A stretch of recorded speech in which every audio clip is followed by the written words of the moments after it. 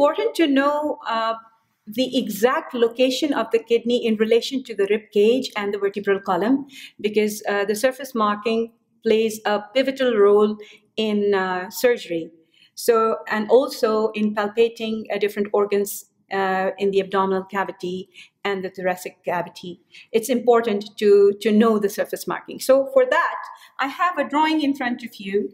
This is showing us uh, the, the posterior aspect uh, or the dorsal aspect of uh, the vertebral column that includes the rib cage in the thoracic region.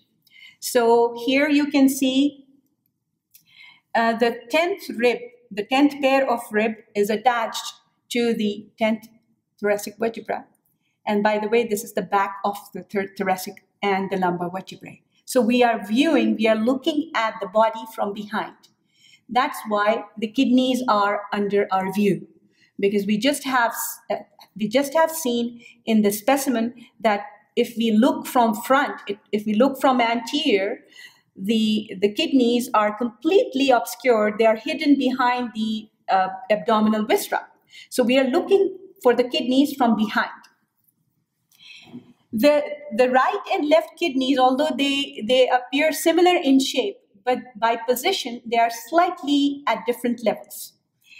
So if you are looking at me, this is me, and you are looking, this is my face, and this is my back. So you are looking at me from behind. So this is my right and my left. When you are looking at me from behind, my right my right will become left and my left will become right. So this is the left kidney and this is the right kidney, okay? So first we'll take the right kidney. Uh, the, the right kidney is at a lower level.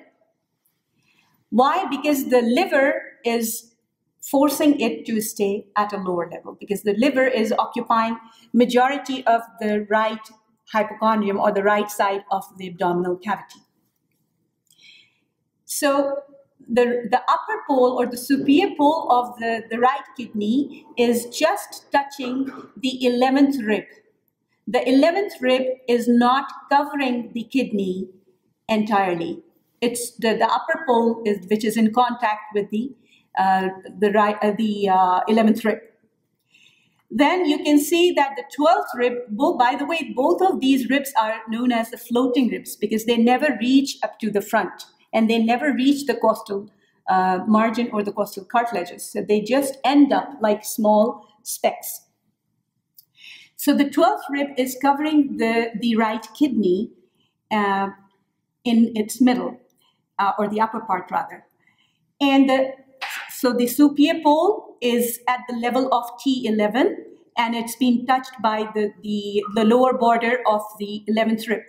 The inferior pole or the lower pole of the right kidney is reaching up to the body of the, the third lumbar vertebra or L3.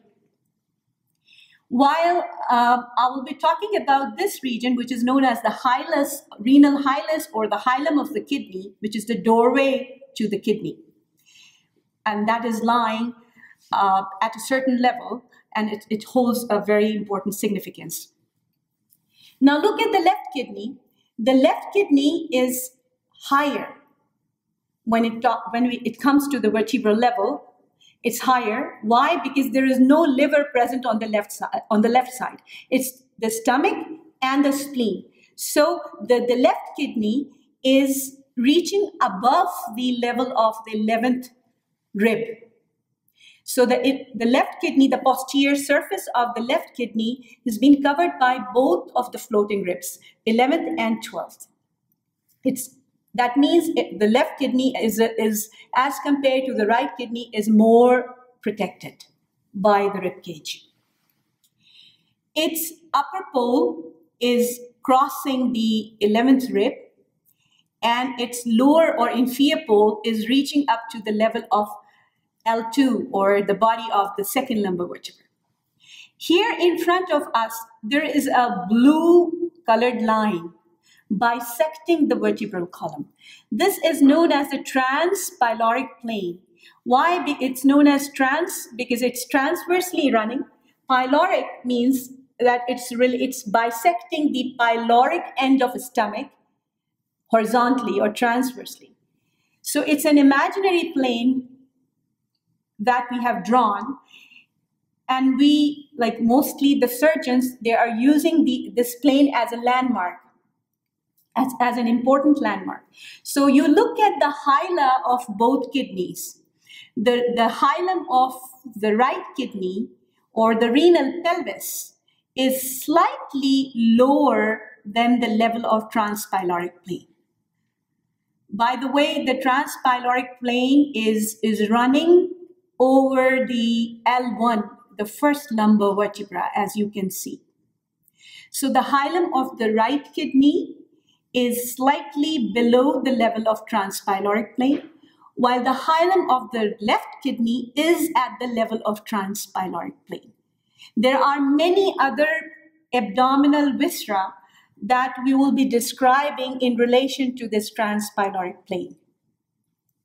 All right, so we have to understand that the difference between the right and left kidneys when we talk about the surface marking the right kidney is just covered posteriorly it's covered by the 12th rib while the left kidney is posteriorly covered by its it comes under the cover of 11th and 12th both ribs. While the hilum of the right kidney is below the level of transpyloric plane at, at the same time the, the, the hilum of the the left kidney is at the level of transpyloric plane. Both the kidneys are almost five centimeters away. They're lying five centimeters away from the vertebral column or the midline. Okay, each kidney, and we just have seen on the original specimen that they are flanking the vertebral column and they are lying five centimeters lateral to the vertebral column.